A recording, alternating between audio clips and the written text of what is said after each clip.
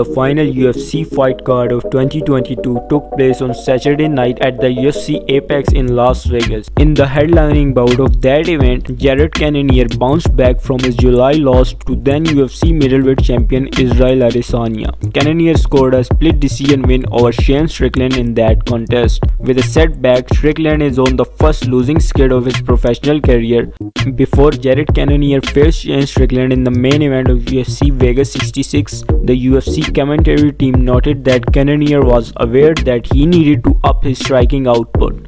Cannonier did that, attempting 310 significant strikes and landing 141 in a split decision win over Strickland. That increase in production was likely one of the reasons Cannonier got the nod over Strickland on the scorecards. I'm not sure that Cannonier's win will put him in the conversation for a title shot, but at least he retained his number 3 spot in the UFC middleweight rankings. Now the question rises is that who should Cannonier face next? He's currently at number 3 spot Robert Whittaker is at number 2, fight is already booked against Paulo Costa, while Adesanya is at number 1, but Adesanya will also get his sudden title shot against Alex Pereira. One possibility for Cannonier could be that if he waits for Costa and Whittaker match and will face the winner of that fight. While the other possibility in my mind is that Roman Dolidze is gonna fight Marvin Vettori and the winner of that fight could also get a chance to fight against Jared Cannonier as well. While this is just my personal opinion, if you have some other opponent in your mind that Cannonier should face next,